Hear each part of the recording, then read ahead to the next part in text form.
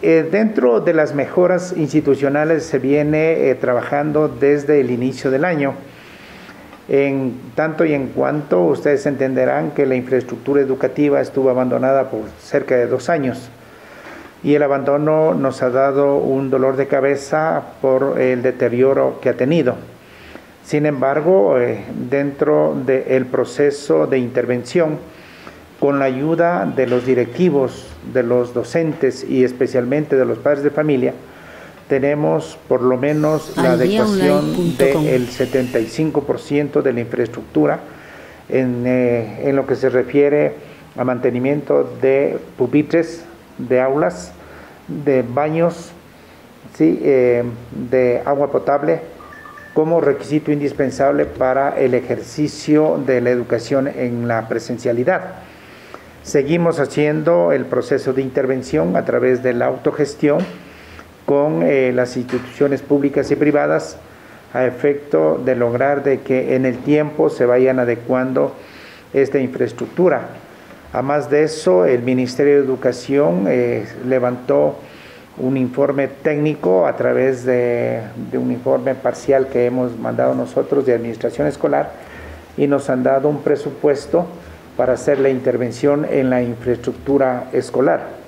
Estamos este ratito subiendo los procesos a la plataforma para licitar eh, los procesos y ojalá en los próximos días comencemos ya el trabajo desde el presupuesto desde el Ministerio de Educación. Especialmente, especialmente nosotros vamos viendo que en el sector rural específicamente nos falta adecuar las baterías higiénicas, ¿sí?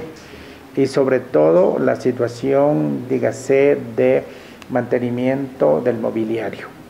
Esas son las principales situaciones, porque la infraestructura tal como escuela, eh, la pintura, el adesentamiento ha sido una obra de apoyo del Comité Central de los Establecimientos Educativos y nosotros vamos viendo los problemas un poquito más grandes para intervenirlos desde el, distrito. Por ejemplo, en el colegio eh, Gonzalo Albán Rumazo de Laques necesitamos cambiar toda la cubierta de la infraestructura antigua del colegio.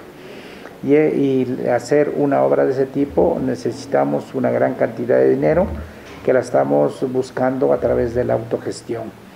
Estamos haciendo un proceso de autogestión conjuntamente con el señor rector del Ramón Barba Naranjo para adecuar y construir baterías higiénicas en el edificio central del Ramón Naranjo, donde funciona de inicial hasta educación elemental.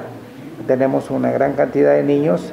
Este ratito acabo de tener una entrevista con el asesor pedagógico para ver la posibilidad de hacer en doble jornada la, eh, la educación, considerando de que si no hay el elemento fundamental, especialmente para los niños que son las baterías higiénicas, no podemos eh, hacer que se produzca un foco posiblemente de contagio e infección. Definitiva es muy poco, son 76 mil y pico de dólares.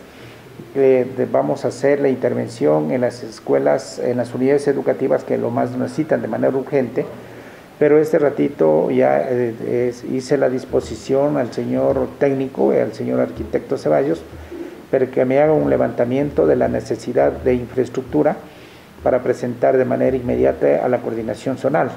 Nos han pedido para hacer la gestión ante el Ministerio de Finanzas y considero de que nosotros vamos a, hacer un plan de intervención que debe pasar de 500 mil dólares. Esa es mi propuesta para poder yo cubrir a los 121 establecimientos educativos. Aldiaonline.com presentan también inconvenientes en el tema de las sillas para los propios estudiantes.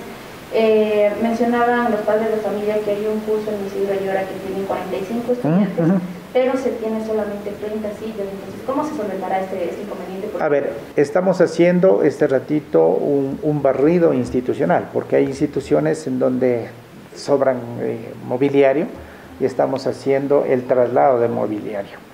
¿Cuál es la dificultad que tenemos aquí de que nosotros, por ejemplo, en la Isidro Ayora tienen un tipo de mobiliario que por su estructura no alcanzan los 40 estudiantes en el aula, es decir, tienen una mesa individual y, una silla. Por tanto, estamos haciendo la injerencia para cambiarle al, pupitro, al pupitre compacto, porque es mucho más pequeño y ahí sí nos alcanzarían eh, los 40 niños. Es decir, estamos haciendo este ratito una especie de ¿dónde está? Présteme para prestarle al otro. Es decir, este estamos haciendo un proceso de intervención con lo que tenemos.